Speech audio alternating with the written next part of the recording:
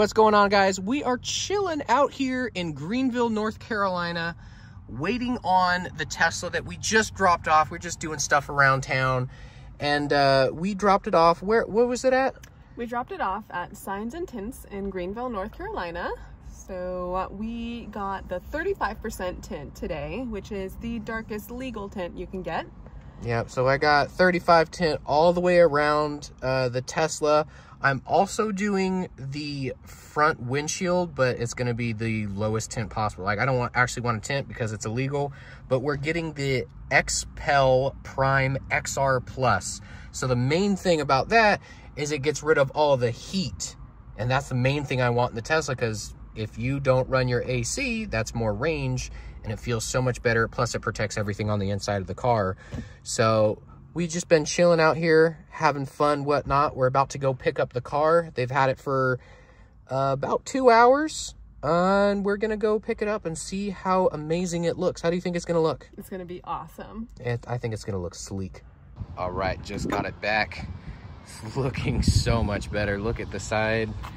With that, 35 is legal, but with that that light, you can't see anything on the inside. I had them do all the windows on the outside. I had them do the rear. Everything is looking nice. Even the front windshield, I had the front windshield done just so I have that heat barrier, but it's not tinted. I think it looks good so far. Let's bring it home. Now, it's been a very, very long time since I've had tint, but the difference between no tint and tint, this is amazing. Like, I can't even, I can't even tell that my windows are tinted at all. Like normal, here, it's like maybe slightly, maybe a little bit of like a bluish tint to it. But I'm so glad that I can actually see out of everything. It's huge. But I do have to say, as I am driving home, I can I can feel the difference. So I've got the sun over here on this side, as it usually is over here on the left side driving home. And it's weird because when the sun peeks out of the clouds, I can feel it hit me and my arm, like where it's actually lit up over here on me. And my skin expects it to be hot, but it's not. It's so crazy. Like I can just barely feel that like there's light on me, like a little bit of heat. It is 98%. Uh, what is it? Something reduction, heat reduction. So that's pretty cool. And the other thing, I'm not sure if you can get it on camera. I know I just had it done and I need to wait like three days, but I can tell here on the windshield, there's a little bit of like um, waviness and bubbles and whatnot. I don't know if you guys can see that. Same thing if we look in the rear view, probably not. Back there, it's the same thing. I can see like a little bit of waves and not bubbles, but you can tell that there's a film on the car. I'm gonna wait the proper amount of time, you know, give it two to three days. You know, I can't roll down my windows and whatnot. They said it's okay because the Tesla does have the automatic, you know, the windows roll down when you open and close the door. They said that's totally fine. So I'm gonna give it a few days, see if that stuff goes away. I'm gonna see if I can get it on camera to show you guys. It's just a little bit of the wavy kind of stuff. Like, hey, we just put film on your car. It should settle out and even out, but we'll see.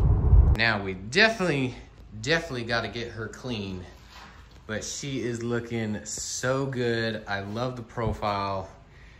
Like I said, I'm gonna check back on it to make sure the windshield and everything else looks good. Oh, you can kind of see it. Yep, you can see it with the lights. There's a little bit of like rippling. They said that'll go away in about a week. Uh, so at most, give it a week and see how well it does. See, I got a little bit of condensation up there. Kind of makes sense based on what they did. But we'll see how everything goes and I'll check back and we'll hopefully have a perfect car. All right, so it has been well over a week. I've let the Tesla sit in the garage. I didn't put it in direct sunlight just because I have a garage, but this garage has been well over 90 degrees consistently. So it's nice and hot in here. Everything has had time to evaporate. And at least from the outside, everything looks perfect. There's no bubbles. There's no waves. There's pretty much nothing besides just the dirtiness of my windows that you can see back glass, no bubbles, no specks, no weird anythings. And then on the inside, now this is what we were seeing before with like the waves and whatnot. It is crystal clear. Absolutely nothing. The windshield, none of that stuff that was on here before. Crystal clear. It looks like there is absolutely no tint on the car. The only way you can tell is the little lines right there. There you go. You can see the line where they actually started the tint. Other than that, it's it looks perfect.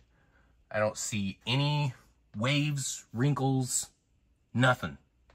It looks beautiful. It also looks beautiful from the outside. It looks looks so good.